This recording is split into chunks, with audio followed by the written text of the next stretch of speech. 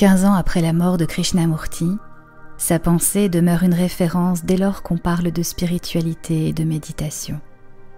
Loin de prétendre à fonder une église ou une secte, ce philosophe inclassable invite chacun de nous à prendre conscience des multiples conditionnements qui l'environnent. Idéologie, croyances, modèles sociaux, etc. afin de s'en dégager et de trouver en lui-même la source de sa liberté. Le livre de la méditation et de la vie offre un ample panorama des thèmes les plus souvent abordés dans son enseignement. La souffrance, le désir, l'amour, la mort. Les chapitres de l'ouvrage correspondent au mois de l'année et comportent chacun quatre thèmes de réflexion. C'est la manière idéale de découvrir la pensée de Krishnamurti. Retrouvez dès aujourd'hui un enregistrement par jour.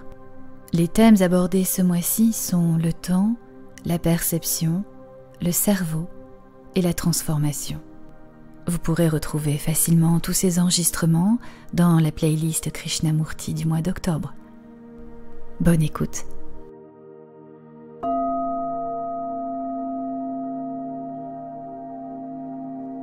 Le livre de la méditation et de la vie, Krishnamurti. 8 octobre. Cette perception qui agit. Vous voyez et je ne vois pas. Pourquoi cette situation? Je pense qu'elle est due au fait que nous sommes tous impliqués dans le temps. Vous ne voyez pas les choses dans une perspective de temps alors que je le perçois sous cet angle.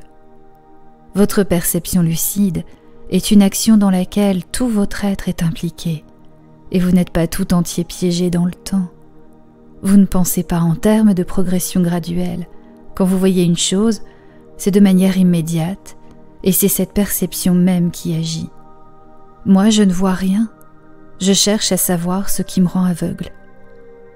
Qu'est-ce qui peut me permettre de voir les choses de manière si complète, si totale, que je les saisisse instantanément? Vous, vous voyez le panorama complet des structures de la vie.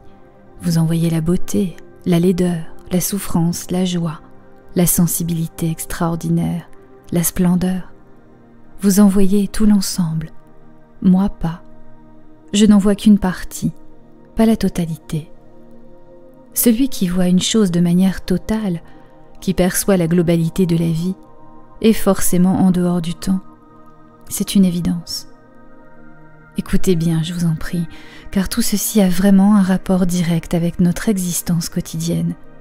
Il ne s'agit pas de considérations d'ordre spirituel ou philosophique, n'ayant aucun lien avec la vie quotidienne.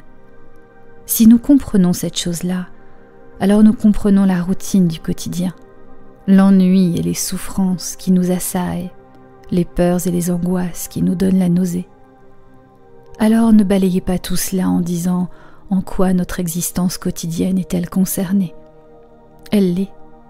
Il est clair, en tout cas pour moi c'est une évidence, qu'il est possible de sectionner, comme le ferait un chirurgien, le cordon qui nous lie au malheur, et ce de manière immédiate. C'est pourquoi je veux approfondir la question avec vous.